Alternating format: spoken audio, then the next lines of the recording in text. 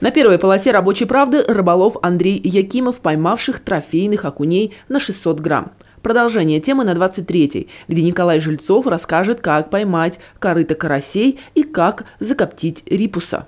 Последние данные о заболевших коронавирусом.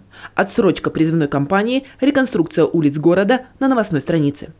Как идет работа над повышением производственного иммунитета в третьем термоотделе трубопрокатного цеха номер один, рассказывает Василий Кош на странице номер пять. История Екатерины Батницкой, помощницы трех директоров завода, и Олега Кирюшкина, вдохновителя команды заводских волонтеров, читайте на странице 6. Родитель для всего электрооборудования. Так называет себя электромонтер Виталий Татаринцев, страница номер 7. Оседлали верблюда, встретили Буду и вернулись новыми людьми. Туристический клуб «Малахит» побывал на горе Качканар. Страница номер 8. Сначала Владимир Михмель был в шоке от своей работы, но потом понял, его призвание – металлургия. Читайте об этом на странице 10.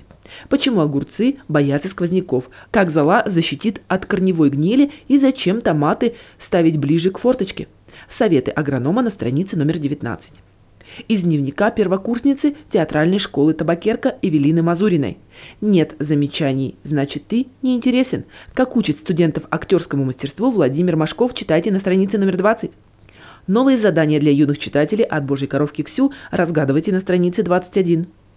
Чем Юрий Гагарин удивил полевчан? Какие песни пел Евгений Радыгин с мраморцами и сколько лет пролежал кирпич от взорванной церкви? Листаем старые газеты на странице 24.